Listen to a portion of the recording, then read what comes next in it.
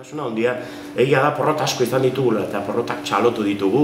Hau nik ez dut esaten, hau Benito Lertxundik eta beste asko esan dute. Hau liburuan nik esaten ditugu gauza batzuk, baina beste asko egunkaritatik ateatakoa dira. Eta porrotak txalotu dira hemen, e, tengabe. E, duela gutxi ganaldotegi bere liburuan ez, emate, esaten du. Ematen du detailea, esaten du, bai, e, guk, e, bagenun guk hitzarmen bat, alderdi sozialistarekin, Zapatero zegoen garaian, bagen nun hitzarmen bat e, espetxe politika malgutzeko, lehuntzeko eta bat, baina engainatu gaitu.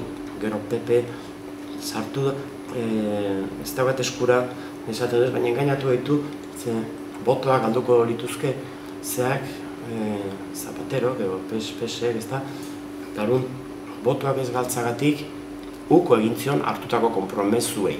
Eta e, otegik aipatzen du. Orduan, aipatzen nahi da, porrot bat eduki duela alderri sozialistarek. Baina horrein txu, hoain dela urte bete, orduan, porrotak etengabe asko.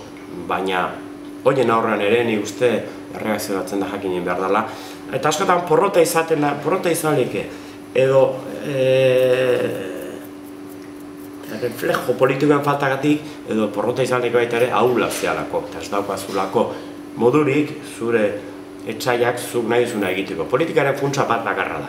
Nola etxaiari egin arazi, zuri komeni zaizuna.